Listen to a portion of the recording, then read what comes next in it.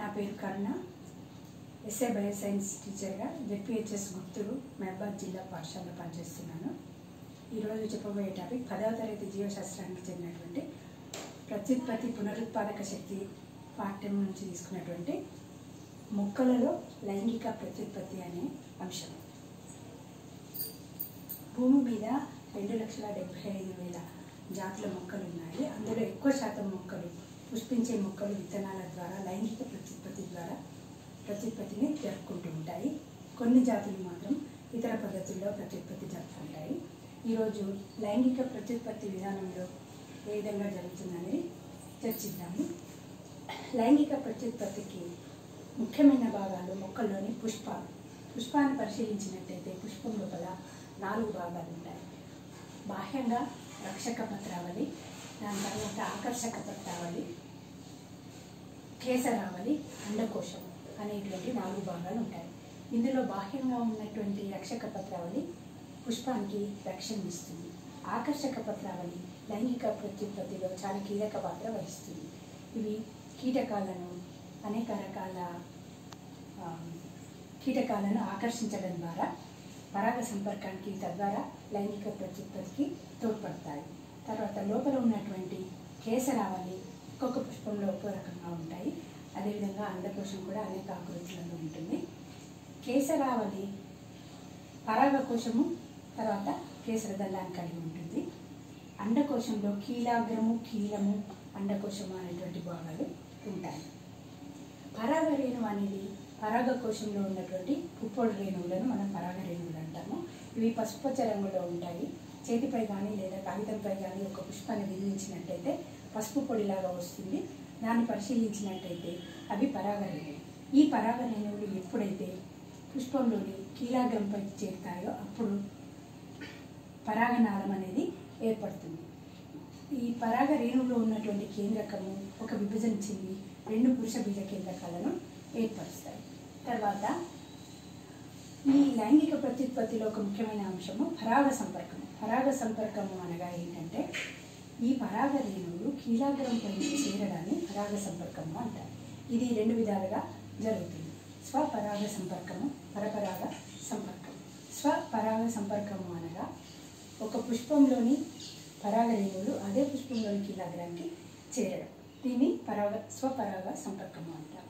ఒక పుష్పంలోని పరాగ రేణువులు ఇంకొక పుష్పంలోకి అదే జాతికి చెందినటువంటి అదే మొక్కలోని ఇతర పుష్పాలు కావచ్చు లేదా వేరే మొక్కలు అదే జాతికి చెందినటువంటి వాటి వేరే మొక్కలోని పుష్పాలపైన కానీ చేరడం. ఆ విధంగా చేరడాన్ని పరపరాగ సంపర్కము అని అంటారు. ఈ పరాగ సంపర్కం జరగడానికి అనేక కారకాలు ఉంటాయి. గాలి కావచ్చు నీరు కావచ్చు లేదా మనం చూసేటువంటి అనేక కీటకాలు తుమ్మెదలు సీతాకొక్క చిలుకలు ఇటువంటి తేనెటీగలు ఇలాంటివన్నీ కూడా పరాగ సంపర్కానికి ఉపయోగపడుతూ ఉంటాయి. తర్వాత పుష్పం యొక్క అంతర్నిర్మాణాన్ని మనం గమనించినప్పుడు ఏకలింగ పుష్పాలు ద్విలింగ పుష్పాలు అని రెండు రకాలుగా ఉంటాయి. ఏకలింగ పుష్పాలు ఈ అంతర్గతంగా ఉండేటువంటి కేసరావళి అంతకోశం భాగాలలో ఏదో ఒక భాగం ఉంటే దానిని ఏకలింగ పుష్పము అంటారు. కేసరావళి ఉన్నట్టయితే అది పురుష పుష్పము. కేవలము అండకోశం మాత్రమే ఉన్నట్టయితే స్త్రీ పుష్పం సాధారణంగా అన్ని పుష్పాలు ద్విలింగ పుష్పాలుగానే ఉంటాయి. కానీ వీర సోర కాకర జాతుల లోపల ఏకలింగ పుష్పాలు కనిపిస్తాయి. కాబట్టి అందులో పూచిన పూలన్నీ కాయలుగా మారవు. చాలా పుష్పాలు వృధాగా రాలిపోతుంటాయి. అవన్నీ పురుష పుష్పాలు. అవి కూడా లైంగిక ప్రత్యుత్పత్తికి ఉపయోగపడతాయి. కానీ పండుగ కాయగా మారడానికి సాధ్యపడదు స్త్రీ పుష్పాలు మాత్రమే ఫలాలుగా లేదా కాయలుగా మారుతూ ఉంటాయి. తర్వాత ఈ అండాశయం యొక్క నిర్మాణాన్ని చూసినట్టయితే కీలాగ్రము కీలము అండకోశం అని మూడు ముఖ్యమైన భాగాలు ఉంటాయి. ఈ కీలాగ్రం పైన ఉన్నటువంటి జిగురు పదార్థం అనేక రసాయనాలను కలిగి ఉండి ఈ పరాగ రేణువు మొలకెత్తటానికి తోడ్పడుతుంది.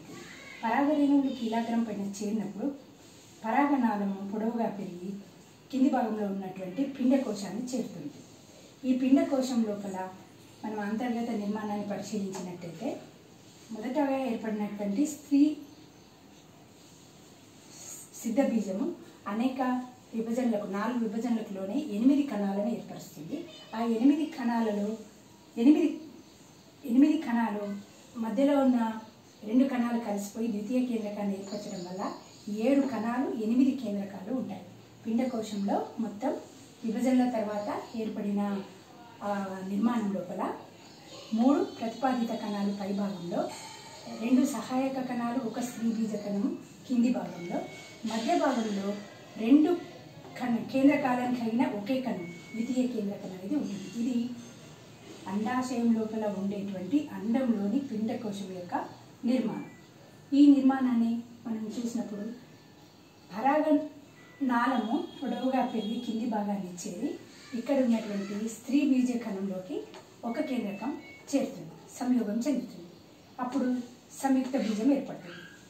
మిగిలినటువంటి ఇంకొక కేంద్రకం అంతర్గతంగా లోపలి వరకు చొచ్చుకుని ద్వితీయ కేంద్రకంతో సంయోగం చెందుతుంది. ఈ విధంగా రెండు సార్లు ఫలదీకరణ జరుగుతుంది మొక్కల్లో. కాబట్టి ద్విఫలదీకరణము అనేటువంటి పేరు ఇక్కడ మనం చెప్తాం. ద్విఫలదీకరణం అంటే ఏంటి? పరాగరేణువులో ఉన్నటువంటి వృషబీజ కేంద్రకాలు రెండు కేంద్రకాలు రెండు సార్లు స్త్రీబీజ కణంతో మరియు ద్వితీయ కేంద్రకంతో సంయోగం చెందడం ఈ విధంగా చెందిన తర్వాత స్త్రీ బీజ కణం ద్వారా సంయోగం చెందినటువంటి సంయుక్త బీజం నుంచి విత్తనం ఏర్పడుతుంది. బీజ దళాలు ఏర్పడతాయి.